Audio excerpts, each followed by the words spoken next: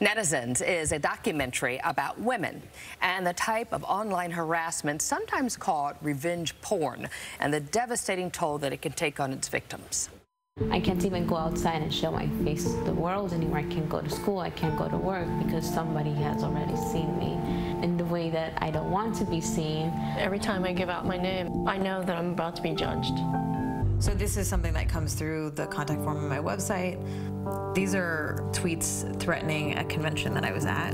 This word legitimate So threat. the film premiered at the Tribeca Film Festival. Joining us right now is Cynthia Lowen. She is the director of this documentary. Nice to have you Welcome. here. Thank you so much for having me. So what prompted you to look into this? I was hearing more and more about these really violent attacks going on against women online. You know, death threats, posting women's addresses, um, saying we're going to come and, and kill you. These were a lot of targeted attacks against women who were in the gaming industry.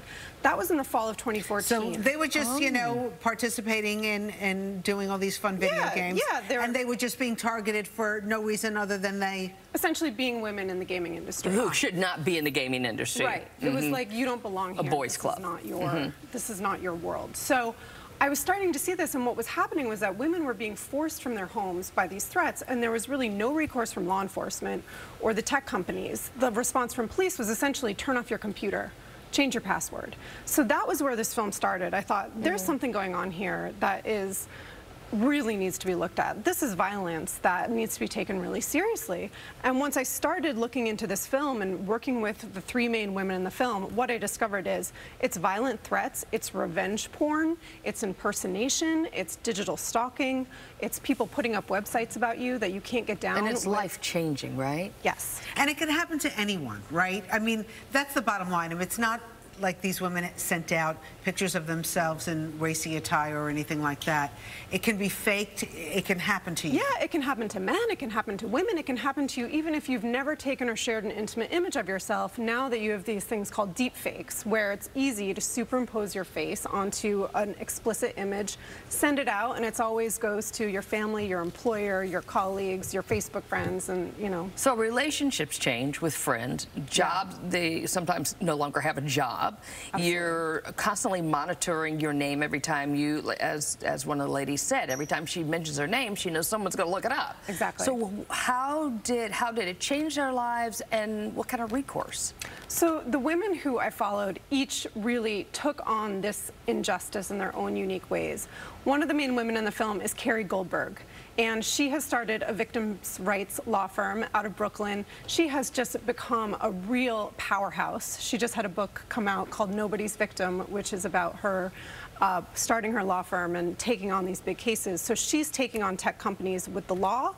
Um, Anita Sarkeesian, who is a feminist game critic, who's one of the women targeted in what was called Gamergate attacks, she has just continued to be out there to make her work.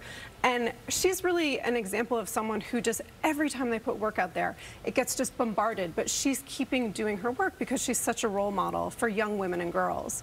And then Tina Reine, who's the third woman in the film, who had her reputation just utterly demolished by mm. all of these websites. She had worked in the finance industry, she was on Wall Street, she was a successful commodities trader, and once these websites came out, she couldn't get a job for years. Wow. And so what she did was she took her own story back and courageously tells the own, her own story of her history in the film to take her identity All back. right. So we have a little uh, a little bit more on your film right now. Let's take a look. I wrote to Google and said, This is abuse. You have to take this down. Please take this down. They won't do it. Every time I give out my name, I know that I'm about to be judged. It's sort of not even will it come, it's when will it come. Because I know eventually they're going to Google me and they're going to see what's there and then they're going to judge me. Private information, non-newsworthy. I am not a public figure.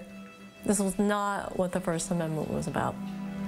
It's just So- what you were saying. It can happen to anyone. So where can we see this? So it will be playing tonight at the AMC Empire 25 on 42nd between 7th and 8th, 7:30 p.m.